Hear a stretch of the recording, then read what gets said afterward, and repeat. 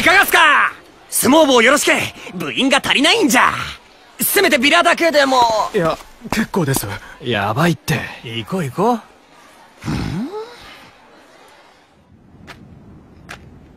う。部長？潮時かな。この学校で相撲を取るのはもう無理だ。ダサいだのデブだの言われても不良どもに媚びへつらってどんなに惨めでもこの土俵さえあればいつかは誰かとここで相撲をそう思ってやってきたのにそれさえも奪われちゃうのかよ。俺はただ相撲が好きで相撲を取りたくてそれだけなのに。しかしお前も分かっただろう。この学校ではユーマさんに逆らっては生きていけねえんだ。俺はもう疲れたよ。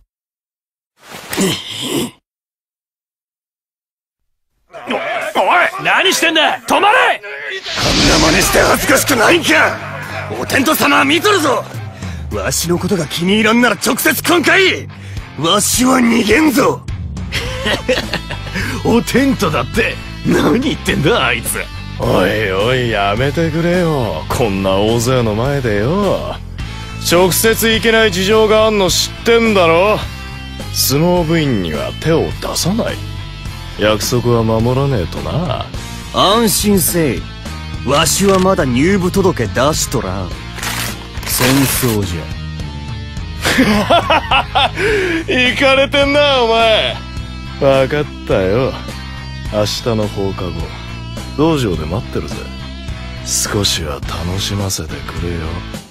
小さなお相撲さん。おう。期待して待っとる。部長見てたんか？何考えてんだよお前。心配せんでもこれはわしの個人的なけじめじゃ。部長の迷惑にはならんよ。そそんなこと言ってんじゃねえよ。お前はユーマさんの恐ろしさを分かってねえ。あの人はお前と正々堂々決着をつけようなんて思ってねえぞ。これは制裁マッチ公開処刑だ。お前を潰すためならどんな手だって使ってくる。なにあんな奴らわしにかかればへでもないわわしは横綱になる男じゃぞ。茶化すなよ！お前のために言ってんだぞ！横綱横綱っていい加減にしろよ！お前身長何センチだよ！見たとこ160もねえだろ！初めて会った時は流してやったけどよ！横綱目指してる奴が知らねえなんて言わせねえぞ！新弟子検査で167センチ以上ないとプロにはいけない。お前は横綱はおるか。大相撲力士になることすらできない。大きな体に産んでやれなくてごめんね。日の丸。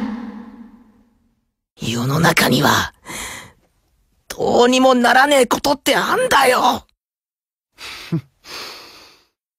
わしはそれを覆すためにここに来たんじゃ。え？この体じゃできねえって。なら証明するまでじゃ。勝って勝って勝ちまくって。大きさなんざ関係ねえってことをな。無名のダチ公相撲部で個人も団体も高校相撲のあらゆるタイトルを総なめにして知らしめてやるんじゃ。ここにすげえ奴がいるって。大相撲の方から頭下げに来るぐれえにな。それがどれほど困難な道かはわしも分かっとるつもりじゃ。それに比べりゃあよ。あいつらのやってることは本当にどうにもならないことなのかい？仮にそうだとしてもあの土俵を壊したのはどうしたって許せねえ。わしも部長と同じで一人で相撲をやってた口でよ。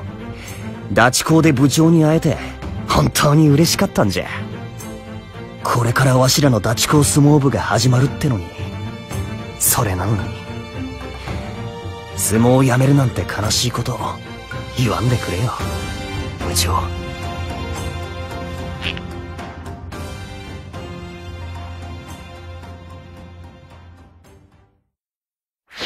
後ろからいや相撲部から手を引いてください。おいおい大関。喧嘩すんじゃねえのかよ。参ったな。土下座とか勘弁してくれよ。つうか本人いないんじゃ話になんねえし。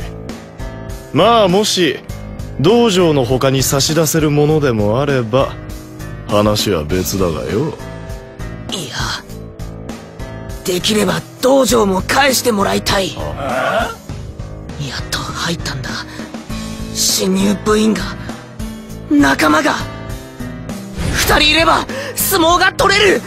俺たちはダチコン相撲部だ。ここで相撲を取らせてくれ。さっきから欲しがるばっかで話になんねえな。どうします？ユーマさん。いいよ。ええ？いやーお前の熱意にすっかり心動かされてしまったよ。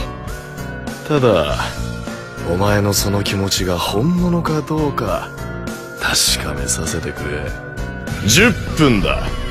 10分間俺に無抵抗で殴られ続けて最後まで立っていられたらあのガキは許してやるし道場も返してやるよ。出た。ダチ公名物人間サンドバッグ。みんなの憩いの場を奪うんだ。それくらいはな。どうする？やらねえってんならまあその程度ってことだ。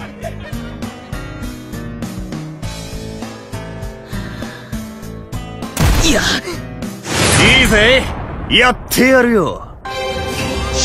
もちろんやるのはわしじゃがな。後ろ